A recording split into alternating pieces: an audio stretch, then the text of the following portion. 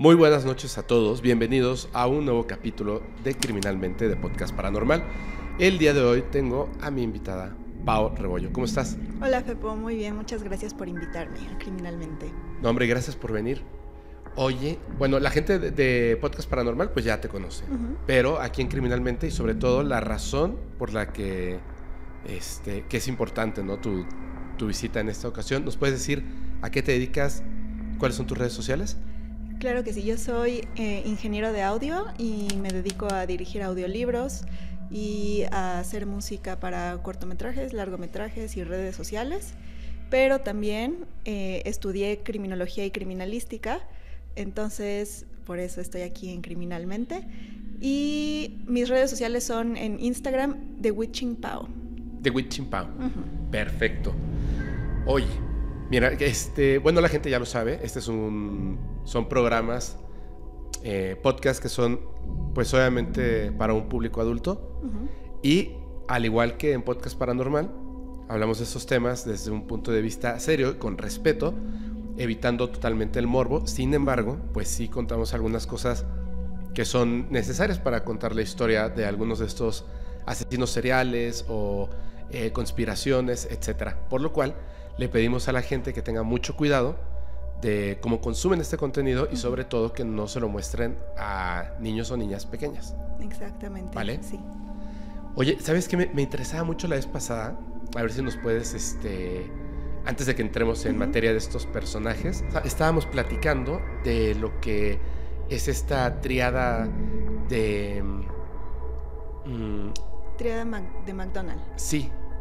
¿Cómo lo podríamos definir y cuáles son?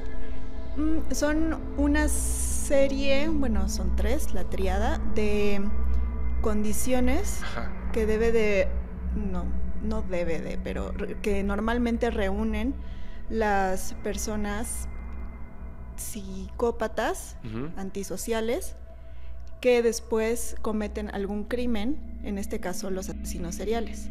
Y las tres serían eneuresis, que es este mojar la cama. Ajá eh, de niños y hasta entrando a la adolescencia. Ok. O sea, porque todos en algún momento, todos los niños mojan la cama. Claro. Pero esto es como un patrón que sea recurrente en neuresis. Eh, maltrato hacia los animales y piromanía.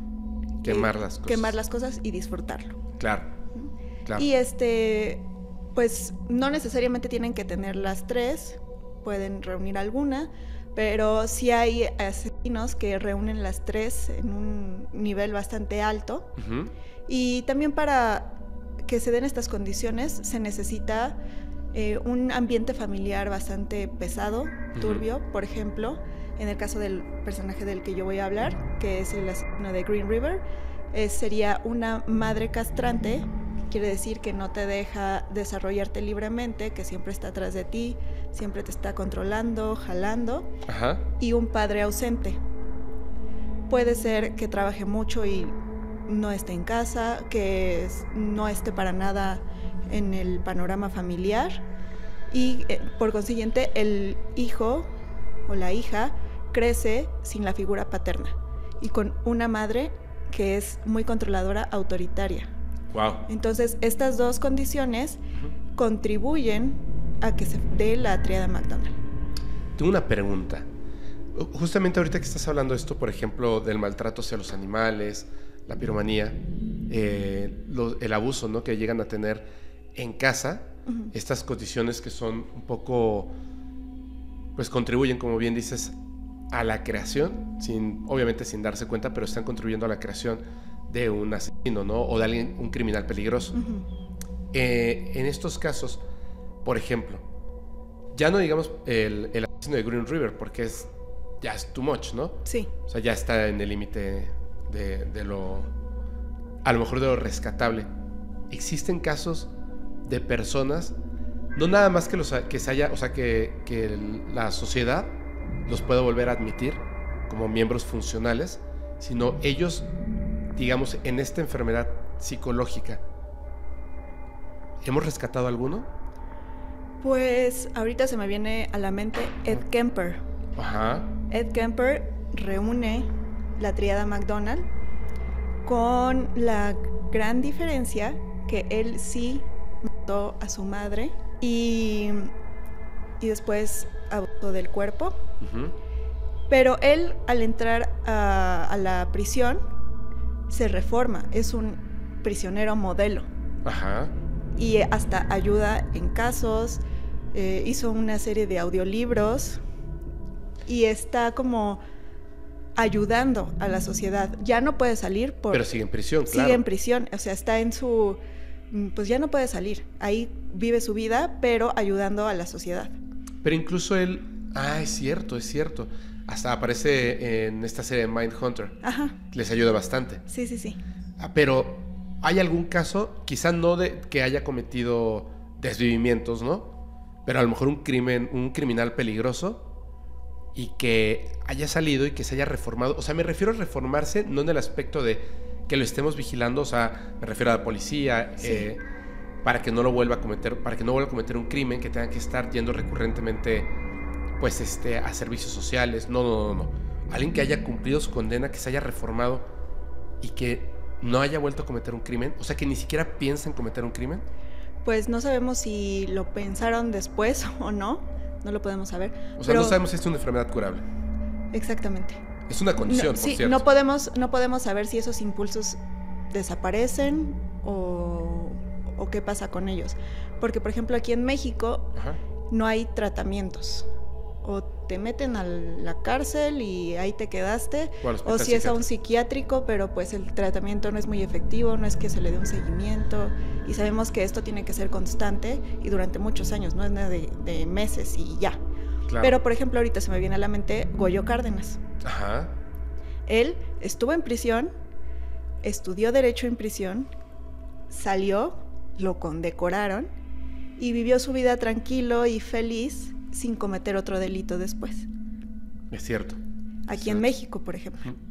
Y mm, otro, otro personaje, no me acuerdo del nombre, eh, el caníbal de Japón, Ah, es cierto. Este. que mató en Francia. Pero, pero más bien ahí el tema es que proviene de una familia de mucho dinero, ¿no? Y le han Ajá. estado limpiando su historia. Sí, pero justamente el- lo que se manejó fue que no era un peligro para la sociedad y que podía regresar. Y ya no se supo después este, de otro crimen que él haya cometido. Ya no se supo. Es la Entonces, eso es lo que no sabemos, que si, si estas personas salen, si se reforman, aprenden a reprimir esos impulsos, a canalizarlos, a hacer otras cosas. Porque, por ejemplo, en el tema de, de los psicópatas, Ajá. o, bueno, con personalidad antisocial, no necesariamente son los asesinos y los criminales y Claro, esas claro, personas. así o sea, es. muchos políticos, muchos jefes pueden ser, tienen estas tendencias antisociales. O gente que le gusta mucho, por ejemplo, los deportes extremos, con mucha adrenalina, que necesitan ese como impulso de, de emociones. Así es. Y entonces ellos aprenden a canalizarlo hacia eso. Así es. Y entonces jamás van a cometer un, un crimen. O sea, ellos ya saben que, que en su deporte extremo o en- estando en, en un lugar de control, pues pueden jugar, canalizar con esos impulsos de emociones fuertes y de como, y no sé si llamarle como rabia, Ajá. Pero no rabia en el sentido de, enojo, sino como de ganas de hacer las cosas. Y en el tema de los asesinos, pues ahí es como no sé cómo sacarlo, no sé qué hacer, pues desviven a las personas o hacen otro tipo de crímenes. Es que a mí me, me- me parece súper interesante, ya lo he comentado antes, cómo la forma en la que se compone nuestra experiencia a lo largo del tiempo, esa enseñanza única de la experiencia, no solamente de, de lo que nuestros padres o la sociedad nos dicen, que es la mayor parte, esa manera en la que nosotros tomamos, es como un Tetris gigantesco que se puede realmente construir un- una mente peligrosa. Sí, Y entonces llegan a un punto en el que, ¿cómo podrías deconstruir algo tan complejo? Que tardaron tantos años, décadas, abusos, golpes, violencia, eh, bullying y muchas cosas más. O sea, es como de repente de lo que nos enteramos y cómo van llevando una mente peligrosamente hacia un punto en el que pueda ser peligroso para otras personas, por supuesto. Porque en ese caso, como tú dices, pues no es un peligro para la sociedad, no es un peligro para otra persona, no es un peligro para un animal. Eh, y también como Hollywood, pues nos ha puesto a esos personajes de una manera totalmente distinta y errada. Sí. Que se me hace raro porque cuando uno se pone a estudiar la mente del criminal, es súper interesante. Es súper interesante cómo llega a eso. Es muy complejo el cerebro. Muy complejo. Y la suma de las cosas se vuelve increíble. De hecho, yo te voy a hablar de uno que a lo mejor sí lo conoces. Yo creo que sí. Es Jaime Osuna. Que le, ese, se autonombró el hombre de las mil caras. Y primero la prensa lo llamaba el Joker de la vida real. Está tatuado con la sonrisa del Joker y, y con toda la casa llena de tinta. Pero principalmente esa sonrisa del Joker. Y cometió algunos crímenes uno en específico que es como salido de una película de si el Joker existiera realmente, ¿me entiendes? Sí. El asunto está en que el comportamiento, el rostro, eh, su forma de actuar, cómo los medios lo llevaron como un personaje y te ponen así tan, tan, tan, música de terror y el cuate es bostezando durante su audiencia, burlándose de, de los familiares de las víctimas, como si fuera un personaje de película. Sí. Y es una persona que se enamoró, es una persona que alguna vez estuvo en prisión por favor a un amigo. O sea, tiene cosas terribles de su vida que por supuesto no, no vamos a decir que eso, digamos que se le disculpa de, de, lo que hizo. Lo que hizo es un crimen, bueno, son varios crímenes terribles, pero como la sociedad y en conjunto todos construimos o hicimos que es esta persona caminar por un camino súper peligroso, cada vez más oscuro hasta llegar a ese punto, que es lo que me parece muy extraño. Sí, por ejemplo, aquí ya hablaron de Jeffrey Dahmer y una de las cosas que me gustaron de la nueva serie es que no nada más te lo presentan a él, sino te dan un, un vistazo a la sociedad, cómo estaba, cómo se trataba a la gente, en especial a la población afroamericana, que eran las condiciones perfectas para que eso pasara. Sí, así es. Entonces, además de que él estaba mal, estaba enfermo, pues la sociedad, pues todo estaba preparado para que algo malo pasara. Así es. Entonces, pues sí, ahí... O luego, por ejemplo, esa es como la pregunta, ¿no? De si el asesino se nace o se hace, pues es un conjunto de todo, o sea, no puede ser o uno u otro. Yo creo que se hace, ¿no? Sí, porque, bueno, por ejemplo, había una, una teoría del gen del mal. Ajá, así es. Que, bueno, pues eso es que nace. Nace y por más que lo pelees durante toda tu vida, si traes ese gen, si traes esa maldad adentro, vas a ser asesino. Y pues no. No. Te acabo de dar el ejemplo de las, las personas que tienen personalidad antisocial que no necesariamente son asesinos. Así es. O también, por ejemplo, eh, lo que postulaba Lombroso de los elementos atávicos en la fisionomía de las personas. Ah, sí. Que depende de cómo te veías, pues era más probable que fueras o más criminal o menos criminal y más peligroso o menos peligroso solamente con tu apariencia física. Sí. Que eso se dio porque en algunos casos sí coincidía, pero no, eso no lo hacía regla, pues. Entonces, Claro. Pues, pues sí, o sea, tienes que estudiar bastantes variantes, porque también, por ejemplo, en el caso de John Wayne Gacy, él tenía una condición en los cromosomas, en los que tenía, eh, me parece que eran eh, XXY. ¿En serio? Entonces, él, ¿Como que tengo un veía- cromosoma además? ajá, el X. Ajá. Entonces, este, hacía que él se viera, mm, ¿cómo diré? De sus facciones un poquito más femeninas Ajá. por ese cromosoma X extra Claro. y él era homosexual Sí. y su papá lo siempre le estaba lo estaba insultando, le decía un montón de cosas peyorativas con respecto a su Sí, sexualidad, lo maltrataba horrible. a cómo a cómo él se veía, cómo se comportaba, Claro. porque él le puso John Wayne por el por el El vaquero. el vaquero, un hombre pues así como nos lo imaginamos, macho y Sí, valiente y pistola, así. valiente. Y él pues no era así, o sea, él era pues más retraído, más tranquilo y así entonces su papá lo pues lo hacía menos por eso. Entonces esa condición no, no contribuye a que sea un asesino, pero contribuye a su entorno y a cómo lo tratan y a que no se descubrió hasta después de su muerte. Claro. Entonces eso también hay, hay que ver. Por eso yo digo que se hace.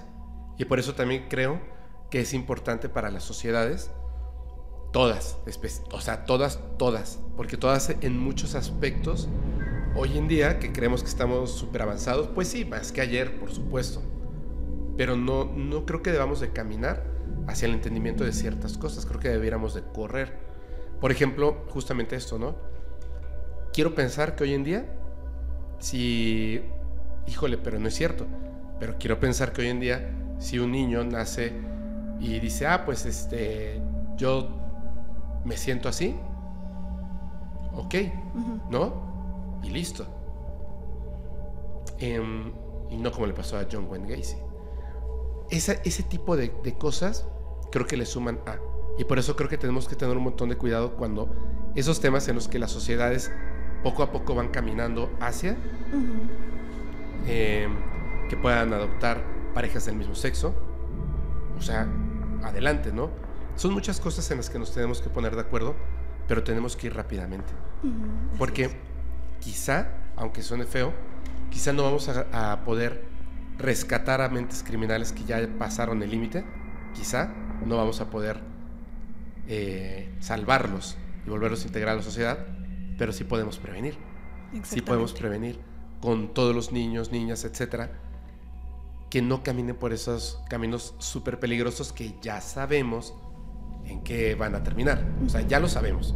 Entonces tenemos que tener un montón de cuidado. Sí, justamente por eso se está abogando para que en las escuelas primarias, secundarias y me supongo que hasta preparatorias, que haya un criminólogo al lado de un psicólogo para poder detectar y prevenir este tipo de conductas. Supongo que en Estados Unidos, ¿no? Y en México también ya se está, Sí. se está proponiendo. Hay, Claro. Son muy pocas las escuelas que ahorita cuentan con un criminólogo y hasta con un psicólogo, pero es lo que se, se está proponiendo, de que eso tiene que, que ser parte integral del- de la formación de los niños. Sí, es que está bien complejo. Está bien difícil. Y otro pequeño ejemplo de, de si el criminal nace o se hace, por ejemplo, Richard Ramírez, que su, pues, su mamá estaba en contacto con químicos mientras él est- estaba embarazada de, de él. Entonces, pues eso afecta, obviamente. Después, cuando nace, sus papás no están mucho tiempo con él, conoce más grande a su primo, que el primo le empieza a mostrar un montón de cosas. Todo lo que ve en la guerra. aunado a lo que ya traía Richard Ramírez y luego cómo se va haciendo, pues eso es de los dos, o sea, nació ya con un, un, un defecto, bueno, no un defecto, una condición tal vez por los químicos que su mamá inhalaba durante el embarazo, porque trabajaba en una fábrica de botas. Y ya después con todo lo que su familia y la sociedad y sus condiciones le fueron inculcando en la cabeza, además de que él después decía que hizo un pacto satánico y varias de E- esas Eso cosas. justamente te iba a decir. Porque muchas veces, ¿cómo estamos desinformados? A eso voy. ¿Cómo estamos desinformados?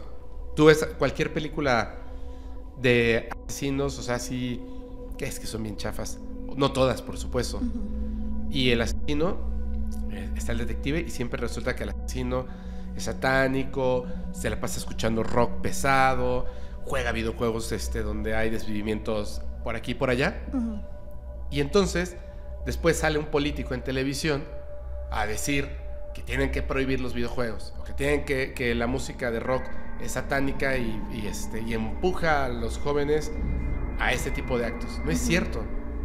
Si no existía el rock, si no existieran los videojuegos, pues, o sea, el satanismo existe desde... uh, exactamente. y si no existiera, en la Biblia les hablan de el demonio y cosas así. O sea, no es cierto. Y hasta de desvivimientos y pues, un, mon- un montón. un montón, exactamente. Un montón. Está lleno de eso, la, en este caso la Biblia, pero... Sí. O sea, no, no, no tiene nada, nada que ver. Y sí, esa parte como de empezar justamente por, por esto. O sea que, por ejemplo, Richard Ramírez fue en los 70s Ajá. y estaba todo esto de el rock, el New Age, el MK Ultra, el MK Ultra, todo, todo, todo, todo bombardeando a la sociedad con que esto es, esto es bueno y si tú te desvías tantito ya es el Satanás que te está hablando y, y, y ya vas a ya no vas a ir por el buen camino y todo lo que si escuchas rock, si lees esto, si ves tales cosas, ya es del diablo y es este pues lo que se conoce como el pánico satánico, ¿no? O sea, que todo todo esto que era más entretenimiento y más este pues música y arte se empezó a se le empezó a poner la etiqueta de no esto es satánico y ya. Entonces justamente por eso en muchas películas algo tiene que tener mal el, el asesino. Cómo va a ser una persona como tú y como yo Claro. tiene tiene que ser algo tiene que ser sa- satánico. Pero por eso digo, en lugar de que hablen de la mente del criminal, Simplemente de, de un aspecto así como, se viste de negro y es satánico, así de, uy, no inventes. Este asesino tiene tatuado un pentagrama en la frente y lo anunciaban porque es que es satánico. De hecho, en su ficha dice después de su peso, religión, satanismo. Y cuando le preguntaron por qué tenía, eh, pues, una un pentagrama Ajá. en la frente, digo, porque sí. O sea, lo que él quería era tatuarse toda la cara porque quería sentir algo.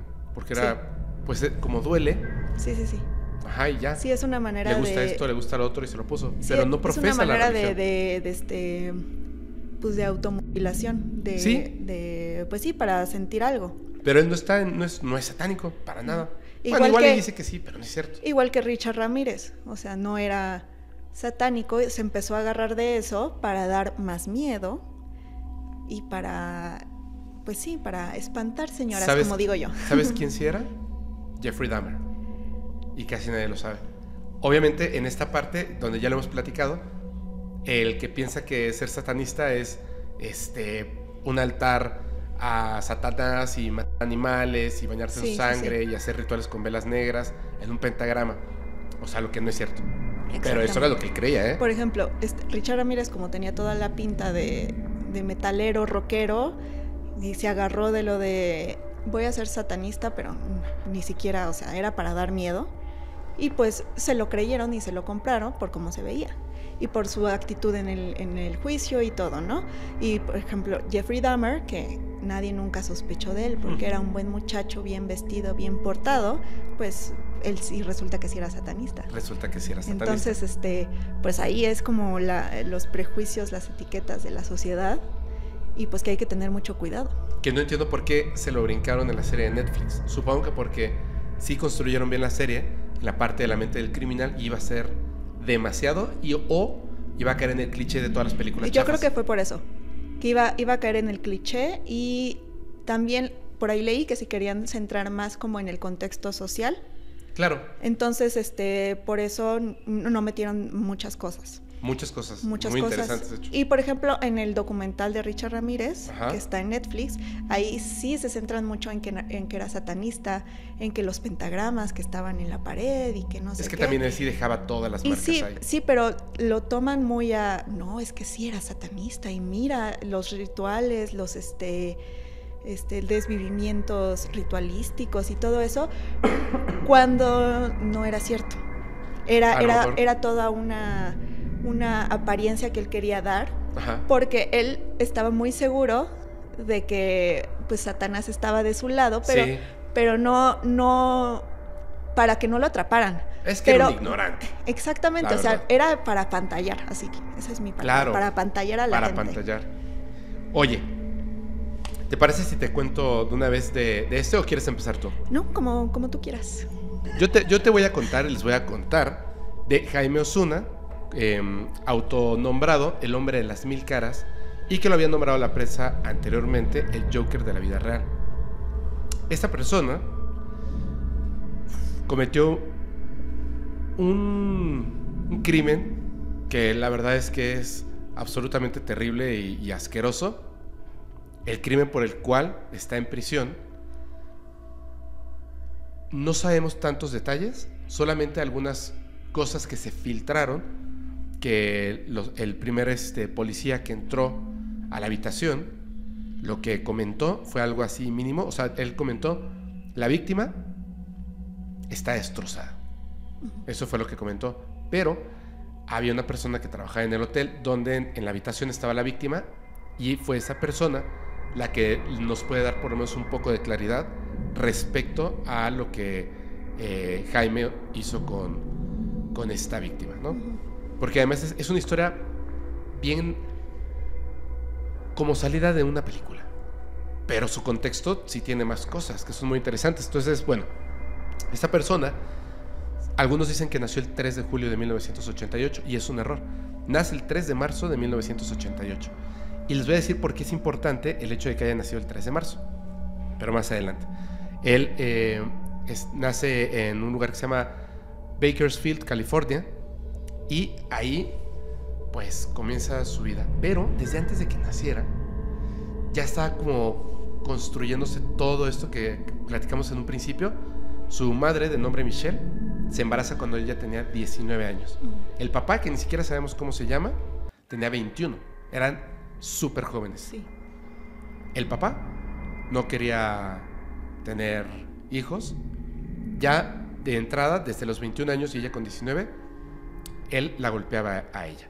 La maltrataba, la humillaba, le pegaba. Cuando descubre que está embarazada, que ya tiene la pancita, la golpea en repetidas ocasiones en el vientre.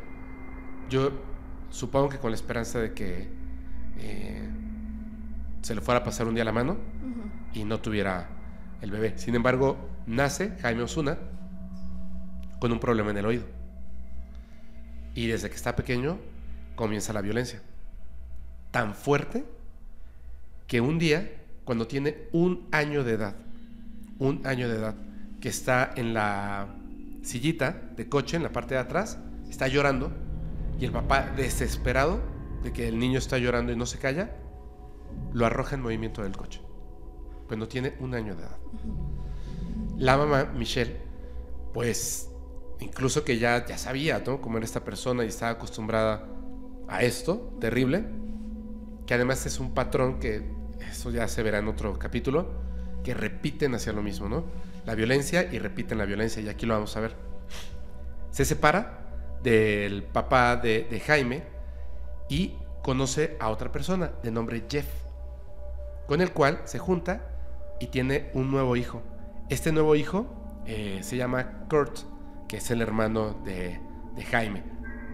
La cuestión está en que este su nuevo padrastro, Jeff, pues resulta que es peor que el papá. Lo golpea, lo humilla, pero no solo a él, también a Kurt. Horrible.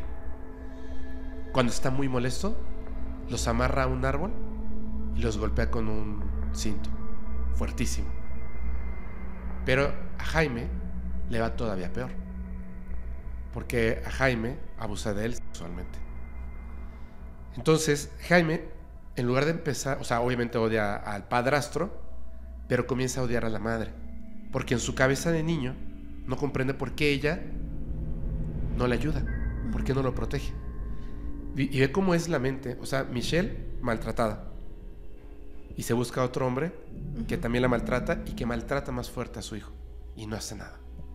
Entonces, con el tiempo, él comienza a cometer ciertos crímenes, siendo un niño.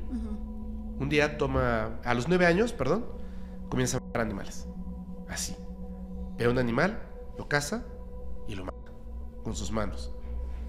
Cuando un día eh, sale la mamá de casa, el, el padrastro no está, coge al gato que tiene por mascota, lo mete en el congelador durante 15 minutos Luego lo saca y lo pone inmediatamente en el horno de microondas.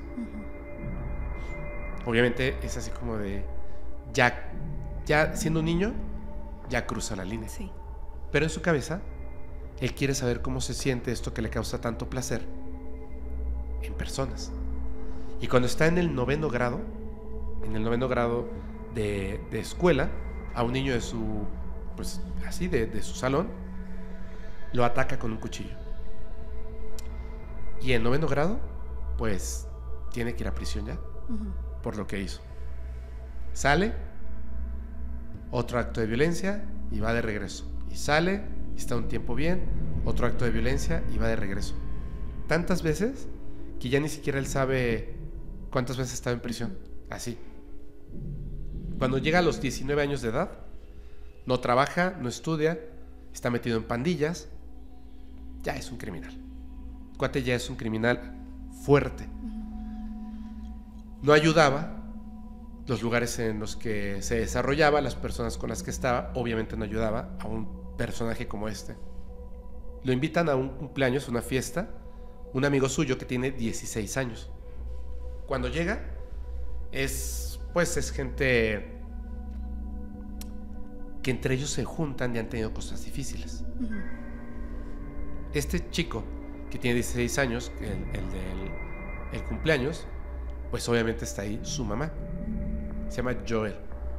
Y está ahí la mamá.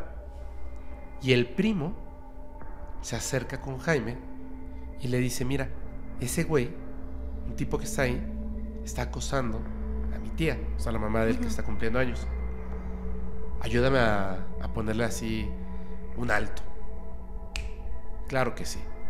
Inmediatamente va, se enfrenta con él, con un cuchillo, y le dice, ¿te vas y dejas en paz a esta mujer?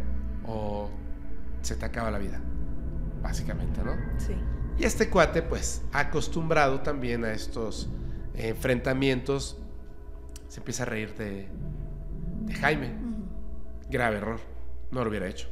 En ese momento Jaime lo apuñala, se hace, pues ya sabes, todo este merequetengue, no, no fallece esta persona, llega la policía, detienen a Jaime y se lo llevan a prisión. Ya que está en prisión, hay un, un este, eh, bueno, esta señora, hay que recordar su nombre, es Joel Castellano, de 37 años, ¿eh? Él tiene 19. Sí. Él cuando está en la cárcel comienza a escribirle cartas a ella. Y ella le responde. Y se enamora. Cuando él sale de prisión, ella lo va a recoger.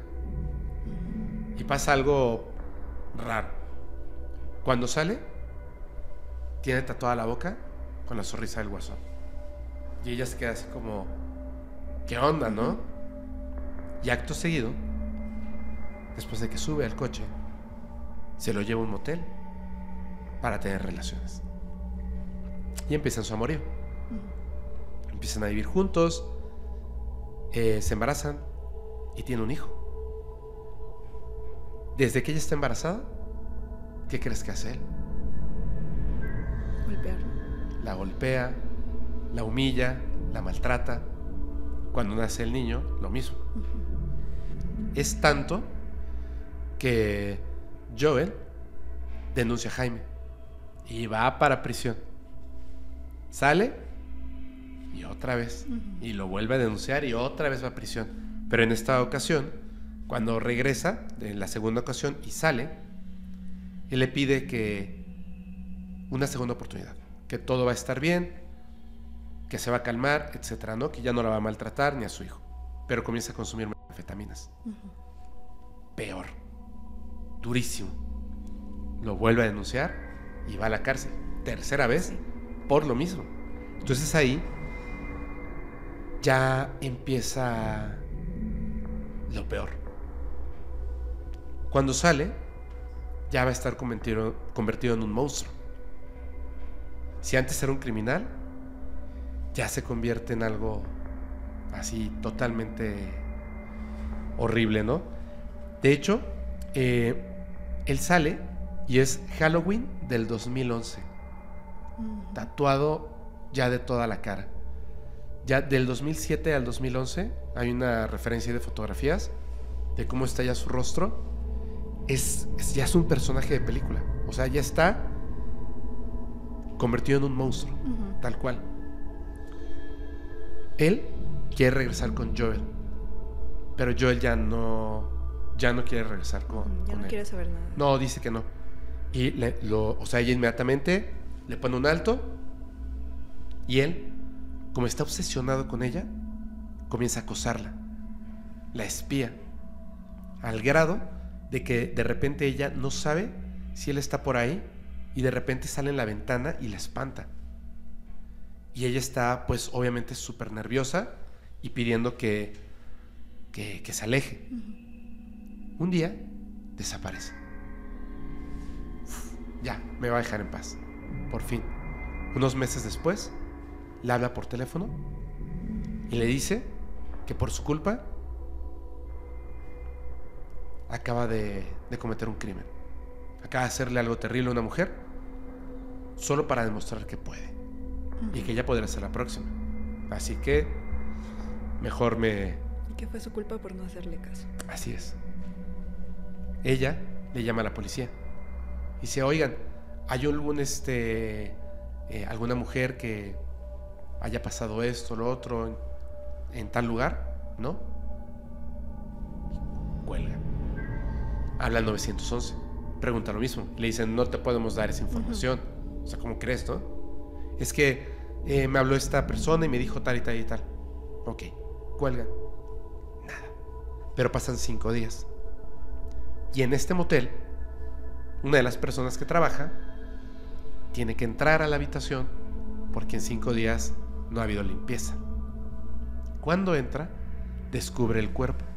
Ivette Peña, de 36 años. Destrozada. Dice él que el cuerpo se veía espantoso, es lo peor que había visto, y hace una referencia. Yo trabajo en este lugar, donde se escuchan gritos, golpes, hay gente que se dedica a, cosas, ya sabes, de todo. Y he visto cosas terribles. Esto es lo peor que he visto en toda mi vida. Dijo que había líquido hemático por todo el lugar, hasta en el techo. Entonces la policía, en sus registros, ven que Joel había hablado por teléfono y la contactan de inmediato, se la llevan y ella dice, yo, yo les voy a ayudar. Claro que fue eh, Jaime, Jaime Osuna, por supuesto que fue él, y ella declara en su contra, inmediatamente. Lo empiezan a buscar y ella les dice, está en casa de sus abuelos, siempre se esconde ahí. Y van y ahí está. Lo detienen todo concuerda, pero inmediatamente él dice que no es cierto, que él es, eh, es una víctima, que él no es culpable, que él es inocente y que ella lo está haciendo porque lo odia. Que él sí le habló por teléfono, porque además está la grabada, está la llamada grabada, dice que sí le habló por teléfono, pero que solamente fue para llamar su atención, que él no sería capaz de hacer algo así. Llega tarde, pero llegan al final, él no lo dejan salir. Durante ocho meses dicen, será una cosa, será la otra, este cuate no se mueve de aquí. Pasan ocho meses, lo que tarda el, veredicto forense, porque el cuerpo ya, está, ya tenía grado de descomposición, porque eh, no podían reconocer qué tipo de arma, etcétera, etcétera, etcétera. Al final lo, que entrega eh, la parte forense es terrible. Uno fue abusada. Muchos de los cortes que se hicieron con dos armas punzocortantes y una tijera. El corte que llegó hasta los órganos. Todo mientras estaba viva. Golpeada. Bueno, terrible. Y, o por supuesto, había ADN de Jaime Osuna en forma de semen y sus huellas digitales. Él es culpable. Listo. Y le querían dar eh, pena de muerte. Eso es lo que querían. Pero él seguía diciendo que no, que no era él. Mientras está pasando todo esto del juicio, hay un fiscal y Joe, que está eh, pues en la parte como no de acusada, pero de la parte de, testigo.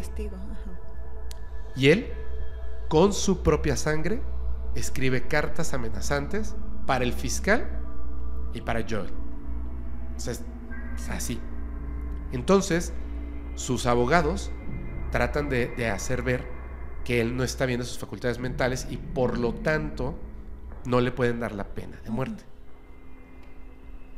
Tres días antes, tres días antes de que fuera ya el, el veredicto, y mientras él con sus abogados se declaraba inocente, aún con las pruebas, una ex reportera de la KGET que se llama Olivia Lavois consigue poder hacer una entrevista con Jaime.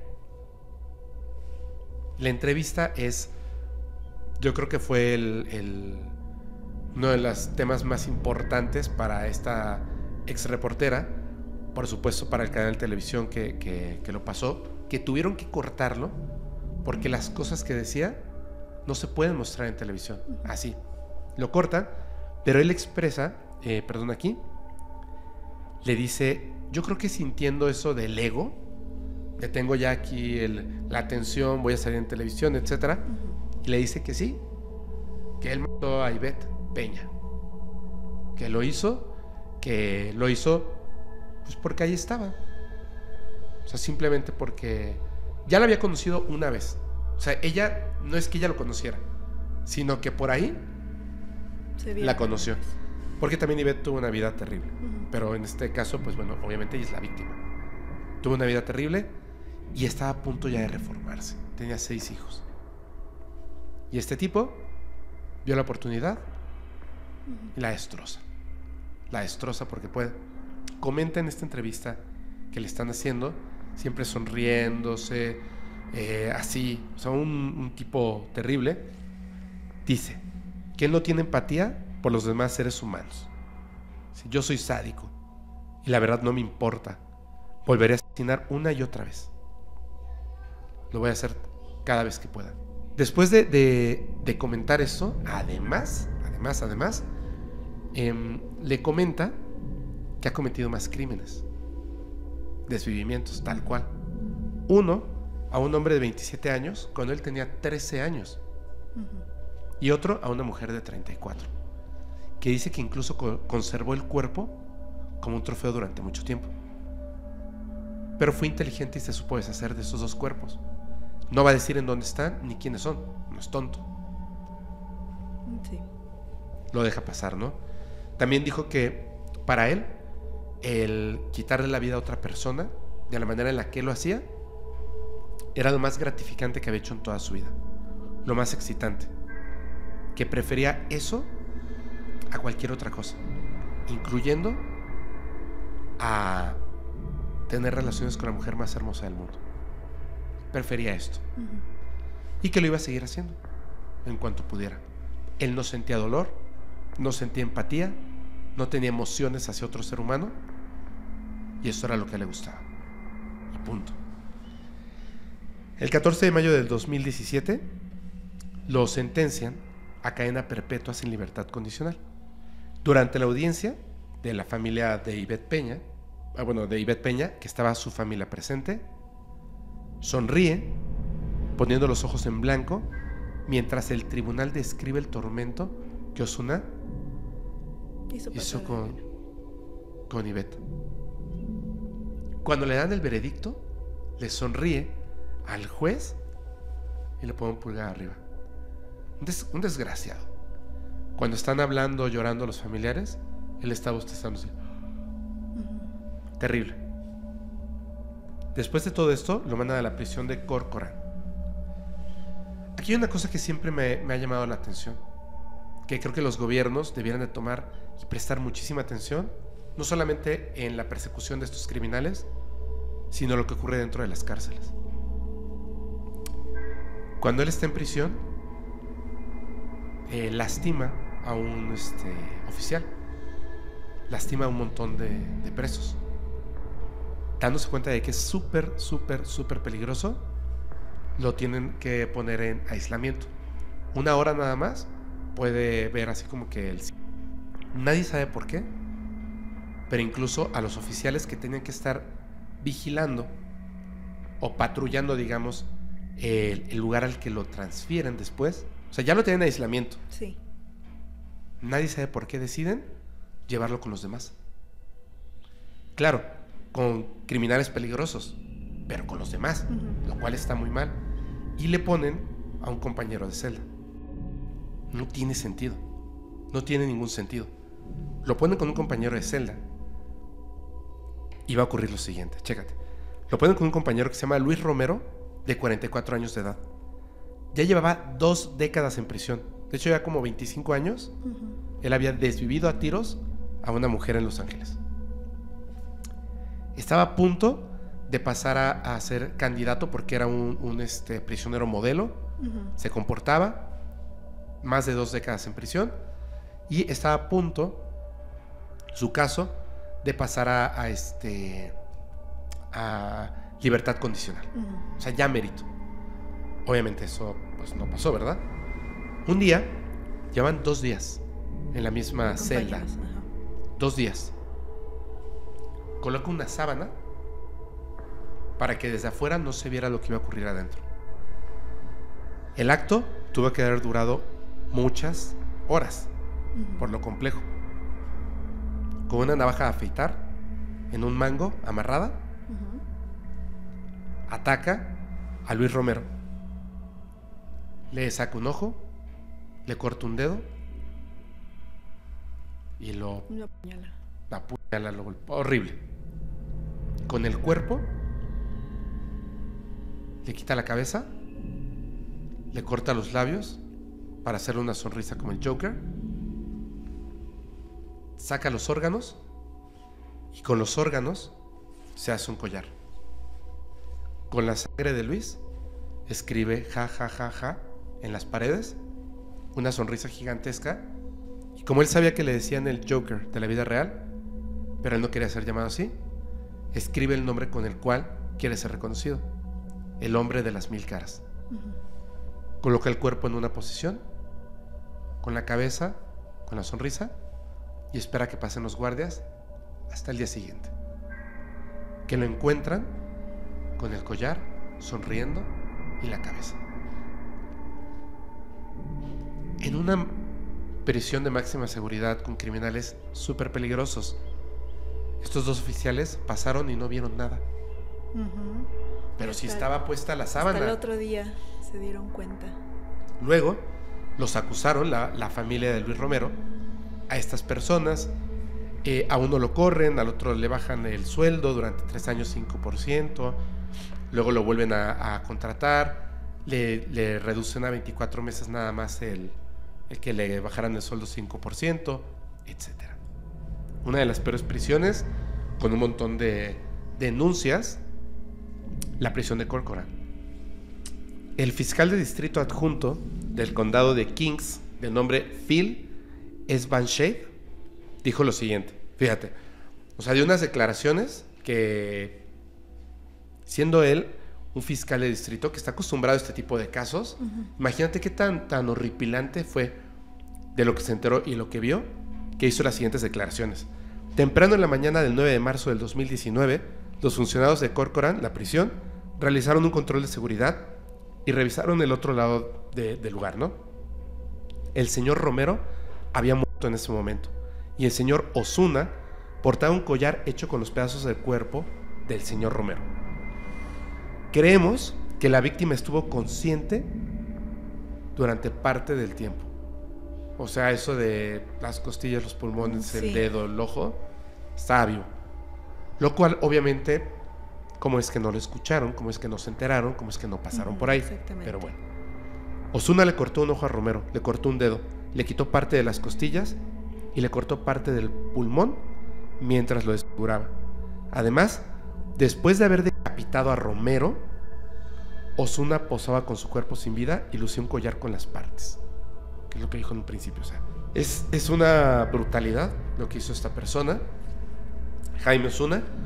Y, bueno, al final eh, se encuentra ahora en el pabellón psiquiátrico de la prisión estatal del Valle de Salinas que yo te comentaba fuera de cámara, es como si esta persona estuviera empujando a las autoridades a que ya le den la pena de muerte.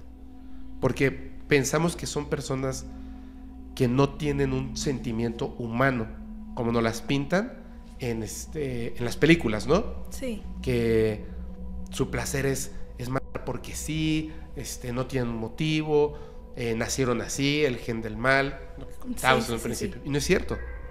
O sea, claramente podemos ver que esta persona cometió crímenes, asesinatos, con un cierto grado de inteligencia, digamos, no tanto, pero no se lo dijo a nadie, escondió los cuerpos, normal, para un asesino. Y después cambia esa, esa conducta del asesino normal, que mata y punto, y tiene a lo mejor un, este, una metodología, a algo distinto, que es movido por emociones. Quería tener la atención de Joe. Sí. Quería recuperarla. Sí, ahí ya, ya fue cuando se dejó llevar por, la, por las emociones completamente. Claro. Porque ya, pues, ese fue el que confesó. Así es. Y por lo y se lo confesó a ella. Ajá, exactamente. Y por lo brutal que fue, pues es lo que se denomina un crimen pasional. O sea, pasional no tiene que ser de amor como es este. Claro.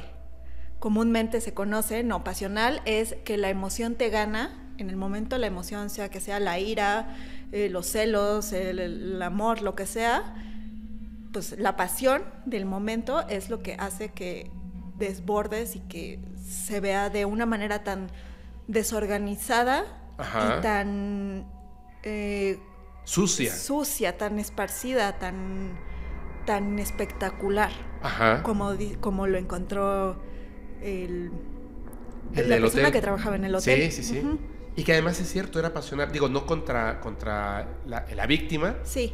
sino contra Joel. Sí, claro. Quería, darle como un mensaje, ¿no? Eso te puede pasar a ti si no era sus, sus emociones que ya no supo controlarlas y esa fue su manera de dar un llamado. Ajá. Pero pues, y también en, el, en la prisión, pues, y es lo mismo, o sea, como también ahí, o sea, como nadie se dio cuenta, o sea, ahí sí fue una completa omisión yo creo por parte de la, de la prisión. Yo creo que estuvo premeditado. Sí. O sea, sabían que algo iba a pasar. Sabían que algo iba a pasar y pues mejor no acercarse ahí hasta dentro de unas horas. Claro.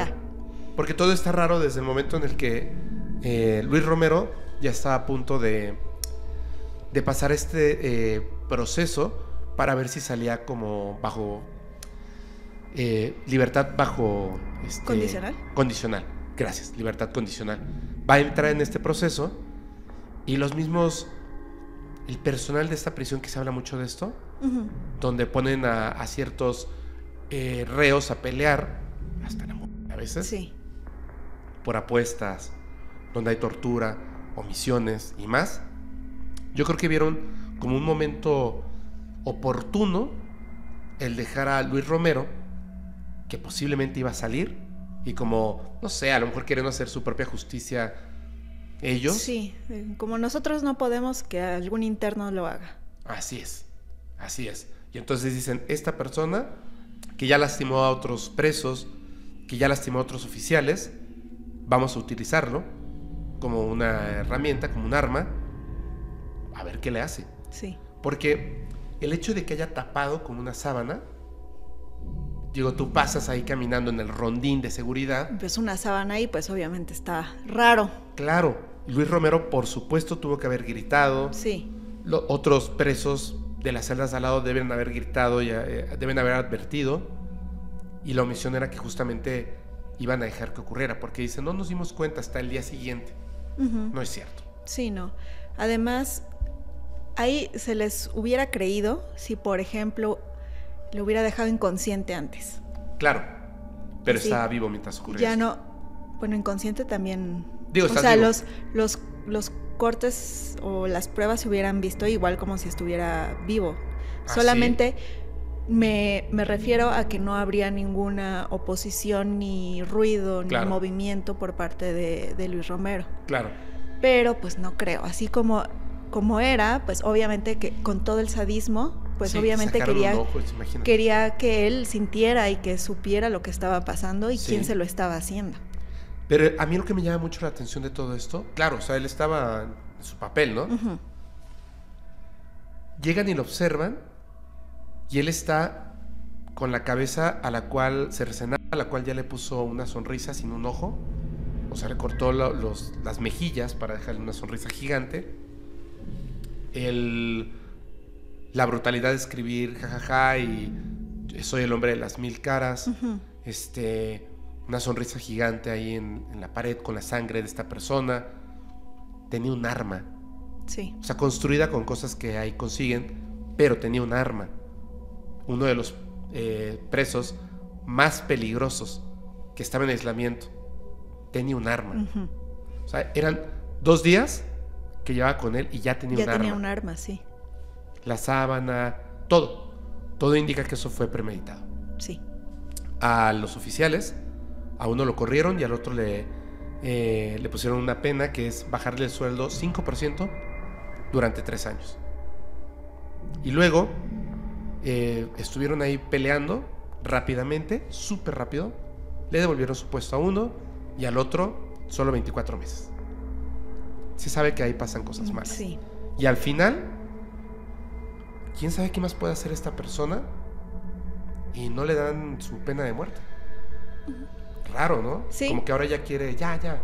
Pues sí, o sea, él, yo siento que ya está buscando como un, un alto Castigo, que ¿no? un castigo, un alto que él no se puede dar a sí mismo. Porque probablemente si él estuviera en libertad o, o, pues en otras condiciones, yo creo que no en máxima seguridad, por- probablemente hubiera intentado desvivirse. O intentar hacer cosas terribles con criminales muy peligrosos para que lo desvivan. Para conseguir ese castigo, esa justicia, ese eso Sí. que él no se puede dar a sí mismo. Sí, así es. Aparte, como él dice, lo único que le da placer, lo único es eso. No el sexo, no nada. Solo eso. Entonces, ya se burla de todo, se ríe de las víctimas, o sea, él quiere que, que le den el castigo final. Sí. Pareciera. Sí, y ahí a mí es algo que, que yo pienso que en ese tipo de, de asesinos Ajá. debe de haber como una, una parafilia sobre las, pues, en este caso la sangre, por lo brutal que es, por los cortes, por lo que él busca es agarrar la sangre, escribir, Sí, todo eso es una manera de llevarlo al límite, a ver hasta dónde puede escalar sí. que siga, que siga y que él siga sintiendo esa excitación, ese placer. Y, y lo mismo pasaba, por ejemplo, con Andrei Chikatilo, que también la, la sangre este, le excitaba. Entonces, mientras más sangre, mejor. Entonces, en este caso también. Y hay otras personas, pues, que es diferente, ¿no? O sea, por ejemplo, lo que les da placer es sentir el control, o que lo que les da placer es ver llorar a las víctimas, o gritar, o, o sea, otro tipo de cosas que son detalles, pero que no se saben ni se sabrán, a Claro. menos que le preguntes directamente a- al, al asesino, al, al criminal. Al criminal. ¿Quién sabe qué esté pasando por la mente de esta persona? Lo que sí eh, se sabe es que él se siente no querido. Totalmente. Así. Nadie lo quiere. Y entonces hace ese juego como de... No me importa, ¿no? Yo, yo quiero ser lo peor de lo peor de lo peor. Y eso me da placer. Sí, como ya no obtuvo lo que quería, pues Así ya, es. ya no importa. Sí, porque no es lo mismo... Yo creo que incluso por eso fue que no le dieron la pena. Porque era lo que quería. Sí, muchas veces eso pasa. Y para él es peor estar en, en aislamiento cuando no se atreve a quitarse su propia vida y tampoco puede desvivir otras Sí. personas. Quizá por eso ahora lo pasaron a un pabellón psiquiátrico. Sí, pero si ahí no está restringido ni, Debe de estar.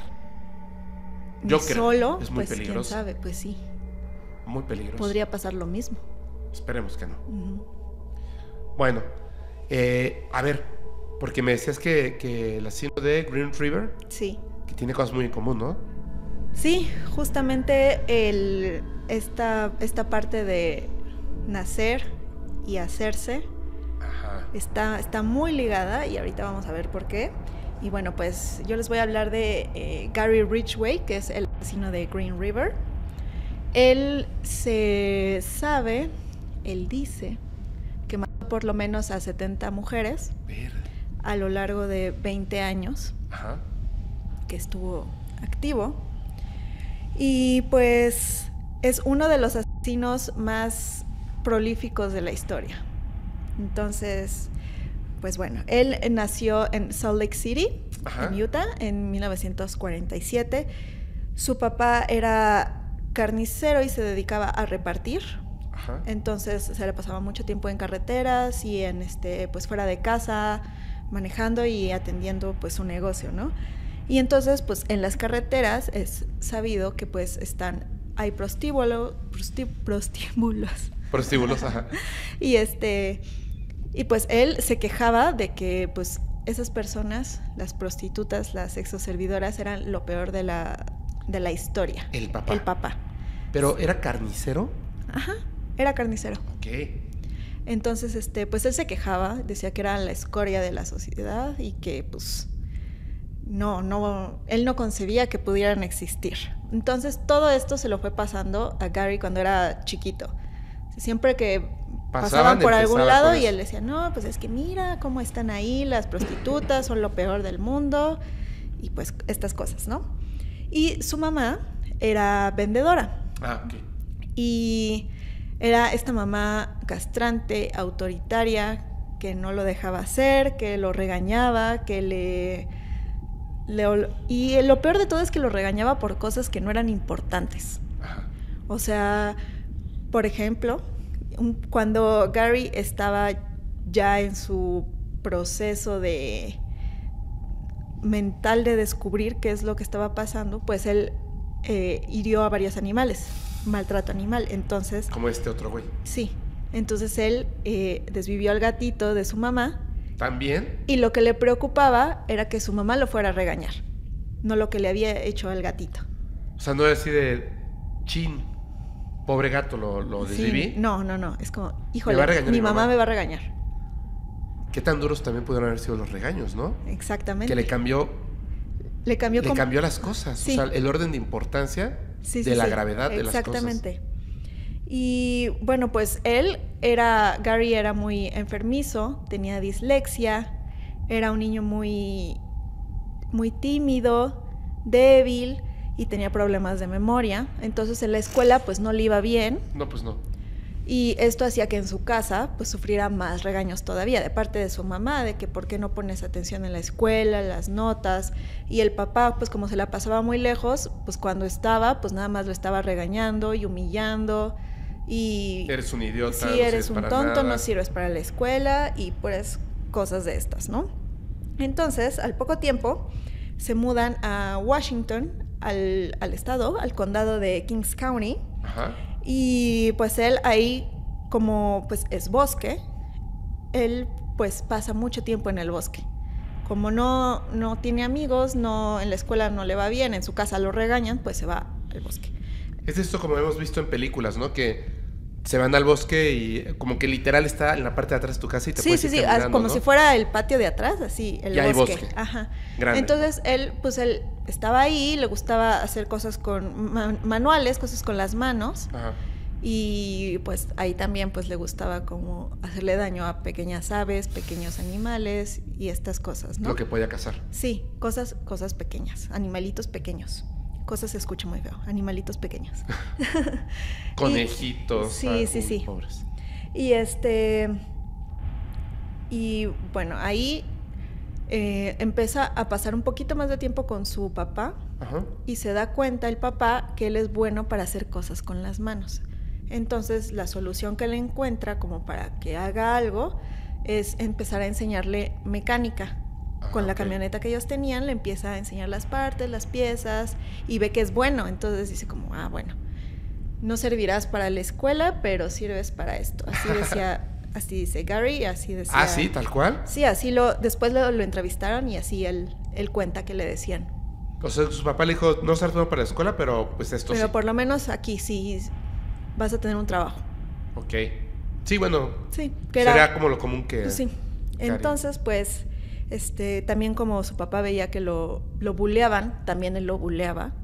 Su otra solución fue enseñarle a pelear, que después uh. salió contraproducente porque Gary desarrolló este gusto por la por el enfrentamiento, la violencia y el y como pues ya sabía pelear, pues sí desarrolló algunas habilidades. Se dio cuenta de que podía ser que podía hacer, o sea, que podía hacer las cosas. Claro. Entonces, pues eso ya después, pues también fue un, problema, ¿no?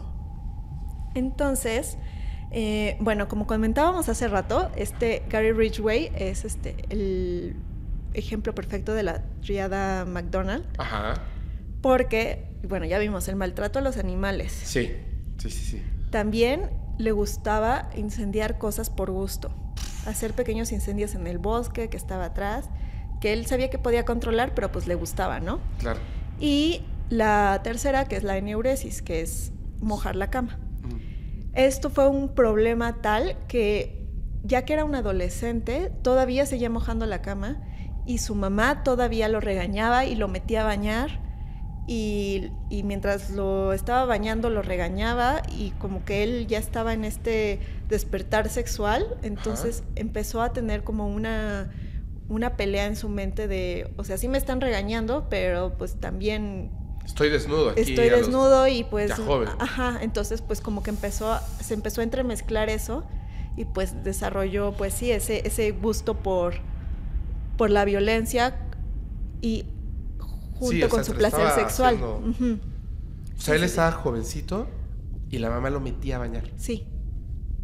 Sí, todavía. Y pues él. Para humillarlo más, para, humillarlo, regañarlo. Y pues él no podía hacer nada, porque pues sí es su mamá que, que lo regaña y que pues mi mamá me está regañando, pero también es mi mamá y no le puedo... Me está viendo desnudo, me está viendo los genitales. Sí, y, no, le, no le puedo decir nada porque es mi mamá, pero ah, no sé, no sé qué está pasando, ¿no? Entonces era ahí como la pelea en su mente y que pues eso hizo que después desarrollara un gusto por, eh, por la violencia y por eh, hacer cosas prohibidas sin que fuera atrapado. Claro. Como por ejemplo, empezaba a espiar a sus vecinas por las ventanas, o si iba al bosque pues a esperar, a ver quién pasaba, a acechar y esto es lo que lo hace muy peligroso porque él aprendió a esperar. Ah. Aprendió a esperar, entonces pues... A no pues, desesperarse, a no, a no desesperarse, a no ser pasional, contrario a... A este. Entonces, este pues... Eso es lo que lo hace muy peligroso, porque podía tener periodos en los que no pasaba nada y él solamente estaba observando y calculando su siguiente movimiento. Uf. Y pues justamente a, los 15 años, él estaba en el bosque esperando en uno de estos días y vio a un niño de 6 años vestido de vaquero que estaba jugando por ahí. Entonces lo, lo, convence, lo llama, vamos a jugar y lo interna más en el bosque y ahí con una navaja que él tenía que se le había dado a su papá porque pues para las cosas manuales y para defenderse y para estas cosas que según el papá le estaba enseñando, pues con eso lo ataca, lo apuñala y me parece que también abusa sexualmente de él. Entonces él pues piensa que, que ya y se va. Pero pasando en la calle, que estaba muy cerca del bosque, hay una persona que escuchó los gritos entonces va, pero ya no estaba Gary, nada más estaba el niño de seis años. Y entonces ¿Era el niño el que gritaba? Sí. Y Gary se había ido pensando que, estaba sin vida. Sí, pero él escuchó cuando estaban los, lo estaban atacando. Pero en lo que llegó y eso, pues Gary se fue. Entonces ya que llegó, le habló al 911, llegó la ambulancia y lograron salvar al niño. Wow. Y él, pues, estaba muy chiquito, le preguntaron qué recordaba, cómo era el atacante, qué, podía decir, y él nada más dijo que era un adolescente que se estaba riendo cuando lo estaba atacando. Pinche desquiciado. Y pues ya, o sea, no pasó nada, no pudo dar una descripción, fue en medio del bosque. Qué horror. La, otra, la otra persona solamente pudo ayudar al, al, niñito de seis años y pues ya no había más, más pistas ni nada para, pues para poder hacer algo. ¿Qué, qué Yo entiendo que era otra época, pero ¿cómo, cómo, ¿cómo dejaron que un niño de seis años se internara en el bosque? O sea, hay osos, es peligroso. Sí, sí, sí, sí. ¿Qué cosa? Bueno, Exactamente, es como, pues sí que antes no se cerraban las puertas de las casas, ¿no? Que todos podían estar así. Sí, qué horror. Pues así, pues así era en ese entonces. Y desgraciadamente por este tipo de cosas pues ya no podemos hacer eso. Em, después, em, Gary cuando fue mayor de edad se enlistó en la naval. Y ahí lo mandaron a la guerra de Vietnam, donde pues ahí vivió cosas terribles, pero también lo ayudaron a reforzar esta conducta de violencia y de poder control, porque a este tipo de personas les cae muy bien ese, esas estructuras de autoridad y de que ellos les dan el poder de hacer cosas y de disparar y de todas estas cosas, ellos les ayuda. Hay otras personas que no, que los pone muy mal y ni siquiera pueden concluir el entrenamiento y así. Entonces, está estas dos partes. Claro. Entonces, él pues le cayó muy bien. Sí, y- con todo su background. Sí, entonces, pues allí, en, en- estando allá, pues visitaba muchos prostíbulos y en una... En Vietnam. en Vietnam. Y ahí fue cuando se contagió de dos enfermedades de transmisión sexual y pues le echó la culpa a las prostitutas. Ok. Dijo, son unas impuras. Por su culpa estoy enfermo. Y ahí quedó ese, ese pensamiento que vamos a ver que nunca se fue.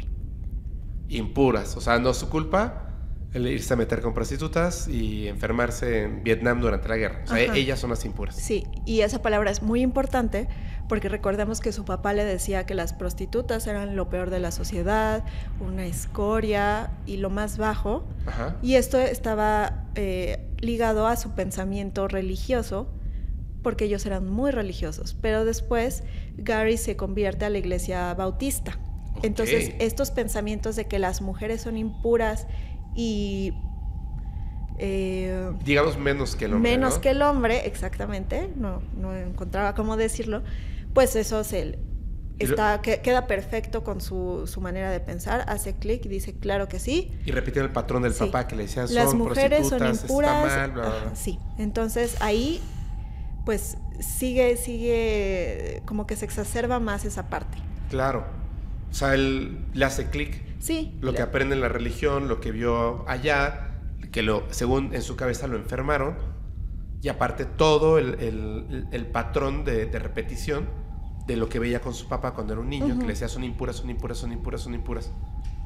Sí, entonces cuando él empezó con la iglesia bautista, pues se convirtió, haz de cuenta que en el modelo del seguidor bautista. Ah, sí. Y entonces pues era el, el, el referente, el, el referente de persona buena Ajá. en la comunidad, en el vecindario. Y él pues a cada persona que se encontraba, a cada, cada oportunidad que tenía, él aprovechaba para hablar de la palabra de Dios. Entonces a este tipo de personas se les conocen como misionarios y no en el sentido de evangelizar, sino por lo que vamos a ver de que él cuando comete sus sus Crímenes. crímenes, él piensa que está ayudando a las víctimas. Está cumpliendo una misión. Está cumpliendo una de- misión divina, exactamente. Hijo de su madre. Entonces, pues, esta es una parte muy importante porque también por eso después vamos a ver que no fue tan fácil atraparlo. Voy a meter en ese momento un anuncio para que entiendan esto que acaba de decir Pau. Cuando tengan tiempo, vean una película buenísima que se llama Las manos de Dios. De hecho, en español, o sea, se llama, no se llama Las manos de Dios, se llama Frailty en inglés. El primer nombre que le pusieron cuando salió en cines en México, bueno, supongo que en Latinoamérica, era Las manos de Dios, que tiene sentido cuando ves la película. Ok. Pero como se veía muy mal porque habla sobre asesinos y se llama Las manos de Dios, Ah. le cambiaron el nombre a Las manos del diablo. Lo cual no tiene ningún sentido en la película. Ok, Pero sí. si tuviera un, un nombre correcto en español, sería Las manos de Dios, pero se llama Las manos del diablo. Es con Matthew McConaughey y el director y también este actor que también eh, actúa ahí es este señor. eh, uy, ahorita les digo, ahorita les digo más adelantito. Pero véanla, véanla, es muy buena porque van a ver el póster. Véanla. Perfecto. Pues si yo no la he visto, entonces yo también la ¿No? voy a ver. No, Es buenísima. no, no sé. Es, Luego no me acuerdo de las cosas que veo por Eh, nombre. imagínate, solo, solo te voy a decir cómo comienza. Es buenísima. Está, hay una serie de asesinatos. No tienen ni idea de quién sea, pero son metódicos. Ok. Llega una persona en la noche, que es Matthew Mc- McConaughey, y le dice, usted es el detective que está viendo este caso y bla, bla, bla. Le dice, o sea, como que no le quiere información y le dice, es que yo sé quién es el asesino. ¿Cómo puedes saber tú quién es el asesino? Porque es mi hermano. ¿Tu hermano? Sí. Y le explica por qué cuando eran niños, o sea, tiene que contarle toda su vida para que entienda por qué es su hermano. Ah, ok. Cuando ellos están chiquitos, el papá un día tiene una visión que llega el arcángel Gabriel y le da una misión a él y a su familia. Le va a dar un poder con el cual, por medio de unos guantes de carnaza, un hacha y un sótano, él puede ver a los demonios. Personas como tú y como yo, Sí. así, pero son demonios. Con los guantes los rapta para no tocarlos. Se los amarra en el sótano, se quita los guantes y cuando los toca puede ver realmente que son demonios. Personas que han cometido crímenes terribles. Ok. Y su misión, Acabar con ellos. Wow. Sí, pues. véanla. Haz de cuenta Gary Ridgway, pero con las mujeres prostitutas. Lo mismo. Wow. Y bueno, durante ese tiempo empezaron a encontrar cuerpos de mujeres en el Green River, que está en Washington, al lado de la carretera interestatal 90, y por eso se llama el asesino de Green River. Y estas mujeres tenían signos de, de violencia, habían sido estranguladas, tenían golpes y además tenían piedras en la boca y en sus partes íntimas, precisamente para que no flotaran, para que se hundieran y fueran Para que se hundieran en el río. en el río y fuera no imposible encontrarlas. Pero pues afortunadamente salieron a la superficie y así es como pudieron ser encontradas. Pero pues horror. era sí, terrible. Y era muy este después fue muy difícil como identificarlas porque eran prostitutas no es, muchas veces no era su nombre real con el que trabajaban, Por con el que se registraban en los lugares. Por supuesto. Entonces era mucho más difícil saber en realidad quién era esa persona. Y pues hasta que hubo un momento en el que había demasiadas. Y la investigación me, me imagino que era súper compleja. Sí, o sea, la- los, o sea, ellas dicen que no confían en la policía y todos No. sabemos, todos sabemos eso. Entonces, cuando la policía se dio cuenta que eran demasiados cuerpos, porque si es de una prostituta, pues desgraciadamente no pasa nada. Así es. Cuando empiezan a ver varios, es como, pues ya tienen que, que hacer, hacer algo. Entonces, cuando se van a los prostíbulos a preguntar, a tratar de hacer este investigación de campo, pues ellas no quieren hablar con ellos, Sí, no, obviamente. una prostituta en esa época en Estados Unidos. Sí, no, no. Hablar con un policía. Nunca. Impensable, no. Son las que van. Nunca, nunca. Las. Les hacen cosas impensables. Obviamente sin pagarles, las golpean, las maltratan, las humillan, las utilizan. Sí, por supuesto que ellas no confían en nadie que no sean ellas mismas. Claro, claro. Y eso a razón. veces, a veces. A veces. En una de, de- de esas ocasiones, em, se, se supo Ajá.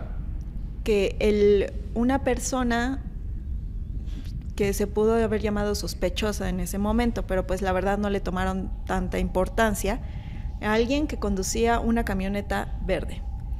Gary ¿Una de ellas dijo? Una de ellas dijo que una de sus Yo vi. compañeras se subió a una camioneta verde y ya no la vimos. Ya no la volvieron a ver nunca. Pero pues una camioneta verde fue, fue todo lo que pudieron decir y pues no, no lo tomaron como una prueba, o sea, era circunstancial. Una camioneta verde, hay muchas camionetas verdes. Claro. Entonces, pues no, no se toma como una prueba. Hasta que desaparece una, una muchacha, una prostituta, y se da cuenta su hermano, porque no llegó a su casa. Entonces su hermano, pues sabía a qué se dedicaba, Ajá. va al lugar, al prostíbulo, y, Pregunta, y pregunta. No, sí, se fue con una persona en una camioneta verde. Entonces él se da la tarea de buscar la camioneta verde, pues en los alrededores. Cosa así- que no hizo la policía. cosa que no hizo la policía porque pues ellos muy fácil dijeron, no, pues hay muchas, no sabemos. Bye. Entonces él, pues obviamente su hermana, pues empezó a buscar cuando da con la casa de Gary Ridgway y la camioneta verde estacionada afuera. Entonces él va a confrontarlo, le toca, le pregunta y Gary le dice, no, yo no sé de qué me estás hablando, yo soy una persona de Dios, mira, te platico un poco de lo que es este mi religión, o sea, como que lo quiso evangelizar en el momento y darle la vuelta y no le contestó absolutamente nada. Y él, obviamente, no le dio buena espina, porque pues él estaba buscando a su hermana. Entonces solamente se fue y fue a la policía. Les dijo, oigan, la, esta, esta calle, en esta calle está esta persona con, una, camioneta, verde. Y es sospechoso, claro. Y, y sí, o sea, por favor, vayan a ver, vayan a investigarlo. Entonces, Va la policía. Ah. Le tocan. Señor, venimos aquí investigando la desaparición de... ¿Y lo agarraron? No. ¿Por? Una persona religiosa que se gana la confianza de la policía, que es tranquila, nunca ha dado problemas, es una persona blanca, en esos años en Estados Unidos, pues la policía que dijo, perdón por molestarlo, señor, y se fueron. Hombre blanco heterosexual, padre de familia, y además... Sí. Así. Ponle la corona. Sí, sí, sí. Hombre religioso. Ya con eso ya era suficiente para no interrogarlo más. O sea, ni siquiera el hecho de que está señalado como sospechoso, de invitarlo a ir a, ¿cómo se llama? A dar su, su, testimonio. testimonio, no, investigar la camioneta, no, no, es necesario. que concuerda totalmente con lo que están diciendo, no. No es necesario. Wow. No es necesario. Entonces, bueno, aquí se me pasó decir que, que Gary Ridgway estaba casado ah. Y a su mujer también mm, le decía un montón de cosas, la humillaba, la golpeaba y pues pues en, esta, en este mismo pensamiento del hombre superior a la mujer. Entonces a ella la hacía irse al bosque a diferentes puntos muy específicos a tener relaciones sexuales. Y después se supo que ahí era donde habían cuerpos o donde se había cometido, el crimen. No necesariamente el cuerpo estaba ahí, pero ahí había pasado. Entonces, Ahí lo pues excitaba el recuerdo. El recuerdo, exactamente. Era como la forma para que él pudiera tener...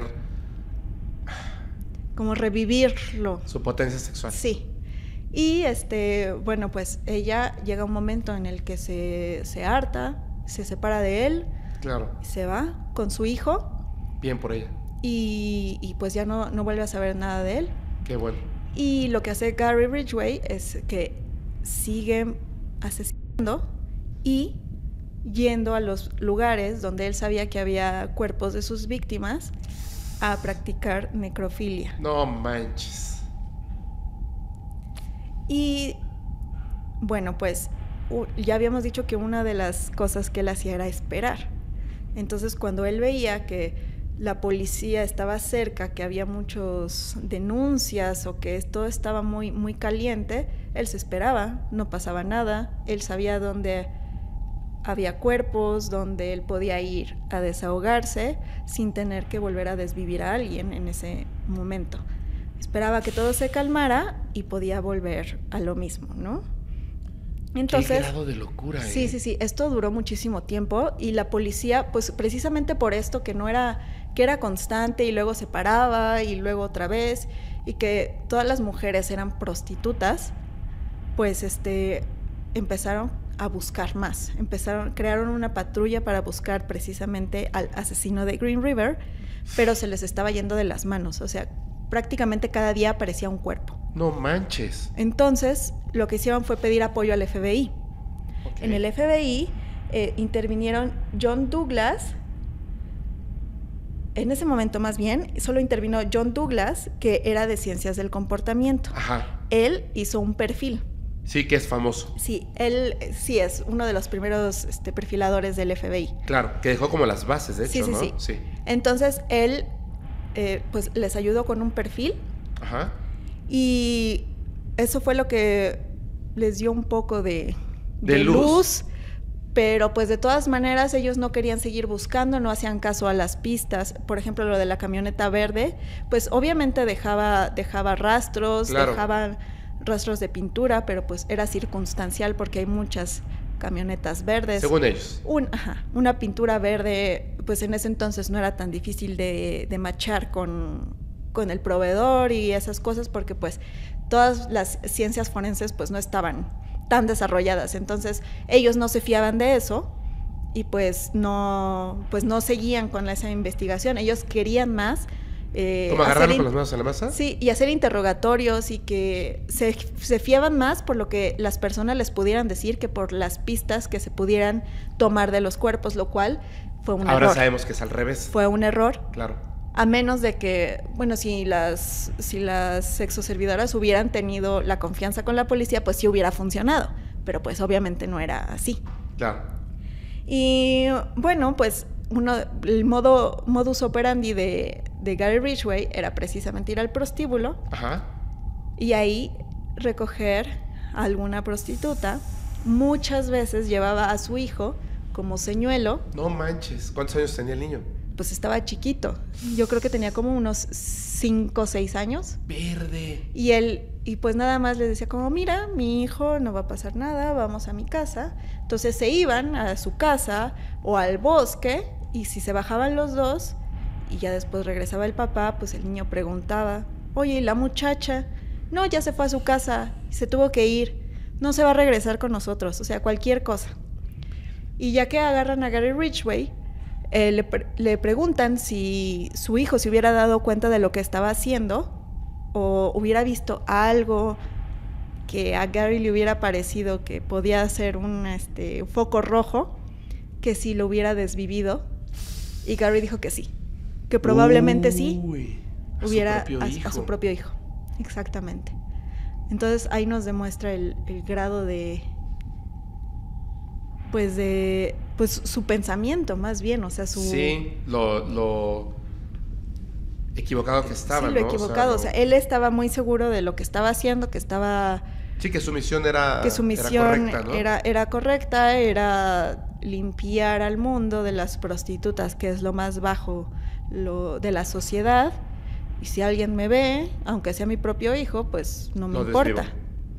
Cuando las llevaba a su casa, él y que no estaba su hijo, porque normalmente cuando estaba su hijo no las llevaba a su casa, eh, lo que hacía era decirles que fueran al baño antes de tener relaciones. ¿A limpiarse? A limpiarse y hacer sus necesidades, porque él ya sabía que las iba a desvivir y cuando una persona muere, pues se relajan los esfínteres y se ensucia. Le iban a ensuciar su cama. Entonces eso es lo que él no quería porque ya estaba traumatizado de su mamá que cada que él este, ensuciaba la cama, pues lo regañaba, lo humillaba, lo golpeaba y lo metía a bañar. Claro. Entonces él no, pues lo que menos quería era como revivir eso. Y a él le gustaba todo ese proceso de, de ir por ellas, llevarlas, que estuvieran en su casa, tener relaciones y después desvivirlas. O sea, él le gustaba el proceso, era un asesino de proceso.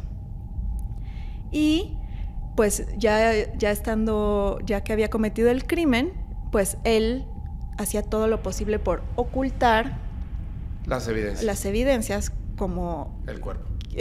quitarles los, los collares, venderlos, cortarles las uñas, limpiarles un poco la cara, pero obviamente no era un, una metodología correcta, pues porque después sí se encontraron evidencias de ADN y, todo. Entonces, era como su manera más o menos de decir, no, pues así ya no me van a, atrapar. Ajá. Como, por ejemplo, Andrei Chikatilo, que les quitaba los ojos a sus víctimas porque pensaba que se quedaba su imagen en la retina de los ojos. Haz de cuenta parecido, ¿no? Entonces, pues eso es lo que, lo que él hacía. Pero me llama mucho la atención el hecho de que hacía todo el proceso, se las llevaba, hablaba con ellas, les pedía que fueran al baño, tenía relaciones y después ejecutaba su misión. O sea, como si el hecho de ejecutar su misión disculpara el hecho de haber tenido relaciones con una prostituta. Sí, porque... Que él mismo en su religión que era lo peor, ¿no? Sí, sí, sí, pero él pensaba que pues estaban al servicio del hombre, las mujeres, ¿no? Entonces él podía hacer lo que quisiera. Y además, como son prostitutas, pues las voy a ayudar. ¡Wow! ¡Qué locura! Pues desviviéndolas. Entonces, pues, esta situación de tantas víctimas empezó a escalar y a escalar y a escalar. Y entonces la policía volvió a pedir ayuda al FBI. Y ahí es cuando entran Robert Keppel y Dave Reichert, que son los agentes que atraparon a Ted Bundy. Y justamente le pidieron ayuda a Ted Bundy para hacer un perfil de Gary Ridgway. Ah, qué chido. Y entonces fue una de las cosas que, que Ted Bundy hizo como para sentirse más importante y mejor, porque ya sabemos que él Que era un narcisista, ¿no? sí. Entonces él lo que dijo fue como, ok, esta persona sabe esperar, seguramente va, regresa a los lugares donde están enterradas sus víctimas, A tener relaciones. a tener relaciones, a practicar necrofilia y admiro su proceso. Porque no lo habían atrapado. Ah. Y él, a él sí lo atraparon. Entonces él dijo que admiraba el proceso de Gary Ridgway. Y pues este fue un perfil que les ayudó nada más como a, a vigilar un poco más la zona, pero realmente pues Gary sabía esperar. O sea, si él veía que había policías, obviamente no iba a ir, no iba a acercar, su impulso no era mayor a su cuidado. si Entonces, hay policía, no voy. Sí, no, y no pasaba nada. Entonces, pues, pero eventualmente, pues él tenía que regresar, Hacerlo. ¿no? Entonces, pues lo que pasó es que en una de, de, de estos operativos había agentes encubierto en el prostíbulo, mujeres, mujeres Ah. agentes. Entonces, Gary llegó, como siempre, y trata de contratar a una mujer, pero era policía. Entonces lo arrestan por intentar eh, Por prostitución. Sí, por, por Contratar contratar los servicios, ¿no? Sí. Que eso era lo ilegal, ¿no? Entonces, pues se lo llevan a la, a la estación de policía, le toman las huellas, le, toman, le hacen su ficha, le hacen una prueba de polígrafo porque están en alerta del asesino de Green River, pero él pasa la prueba. O sea, él es tanto su control sobre sí mismo y sobre este saber esperar y sobre él pensaba que estaba haciendo lo correcto, Ajá. que pasa la prueba Wow.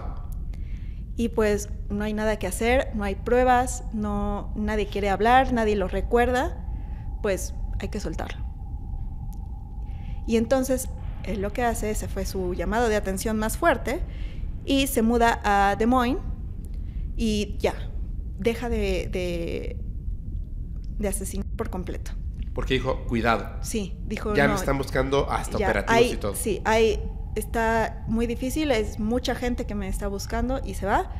Y pues obviamente en el condado de repente se terminan los, los crímenes, ¿no? Claro. Entonces, pues ya nadie hace nada. O sea, ya, pues ya se paró, pues ya qué hacemos. Entonces solamente como que empiezan con a darle como un poco de apoyo a las víctimas, cosa que tampoco fue mucho porque eran prostitutas y pues no había mucho que, que apoyarlas porque ellas tampoco confiaban. Y así quedó este caso hasta ese entonces. Pero en el 2001, este Dave Reichert se hizo alcalde del condado Ajá. y él ordenó, él fue el que atrapó a Ted Bundy y que ayudó con el perfil. Ajá. Entonces, él ordena que se vuelvan a abrir los archivos del asesino de Green River para ver qué se puede hacer con las nuevas tecnologías. Ah. Entonces empiezan a hacer más pruebas de, de ADN porque ya lo tenían fichado, tenían sus huellas, tenían su perfil en la base de datos y además ya podían meter lo que estaba, las pruebas en los cuerpos. Entonces empezaron a ver matches. o Muchos, sea, dijeron, muchos. tenemos aquí huellas ahora sí en los cuerpos. Sí. Con esta te- tecnología ya podemos recobrar huellas en los Sí, sí, cuerpos. sí. Y podemos eh, cotejarlas con lo que hay en la, Claro, en la base de en datos. la base de datos. Entonces, pues ahí salió perfectamente que coincidían con Gary Ridgway, que vive en Des Moines. Entonces, pues así es como van a Des Moines y lo arrestan. Sí, todas las pruebas. Los, Entonces, ya no había, no había los crímenes ocultarlo. pararon cuando te fuiste. Sí. Están además. las huellas, Sí, sí, sí, todo, todo, todo concordaba, todo La concordaba. pintura del, del automóvil. Sí, que eso nunca, eso nunca lo aceptaron, pero obviamente era algo muy importante, muy importante. Y bueno, pues eh, llegan a Des Moines en el 2001 y lo arrestan. Y él propone un trato. Ah, o sea, dijo, sí, ya, ya, ya, soy yo. O sea, sí, pero ¿cómo ven si les digo dónde están las demás personas que desviví y no me dan la pena de muerte? Entonces, eso fue lo que pasó.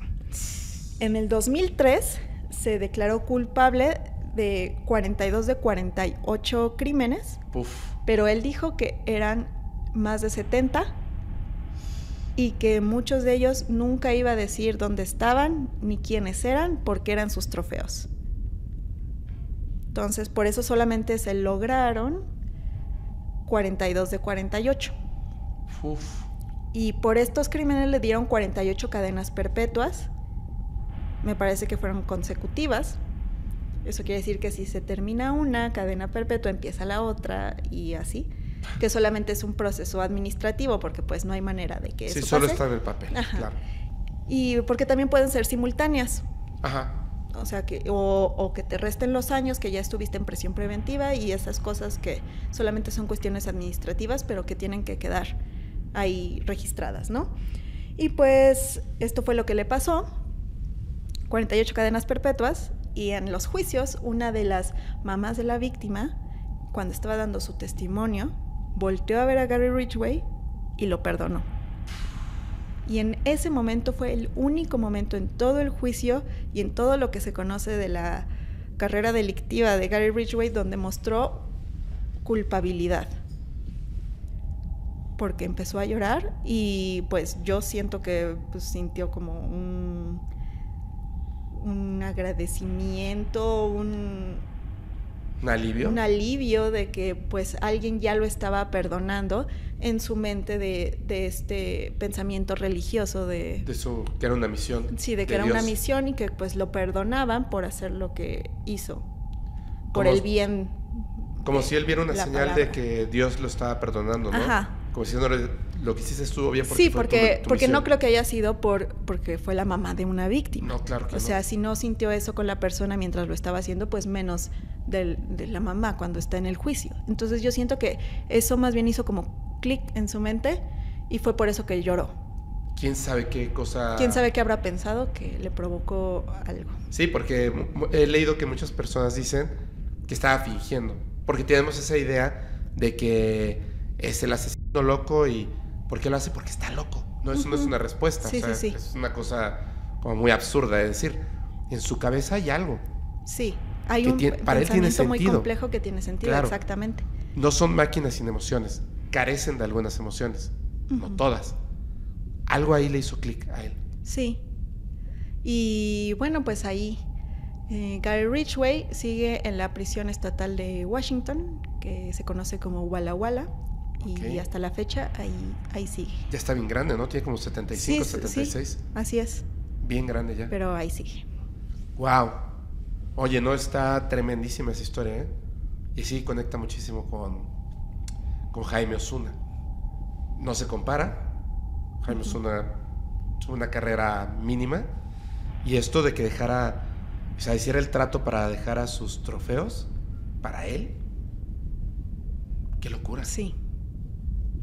Qué locura.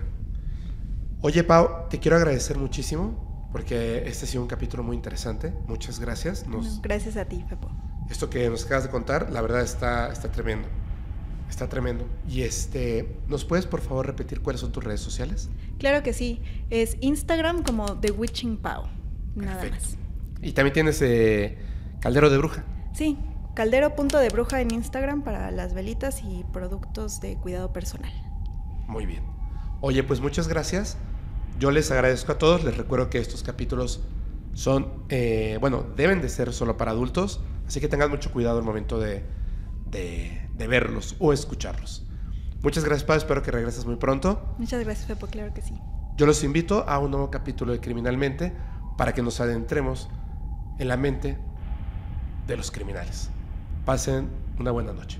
Chao. Chao.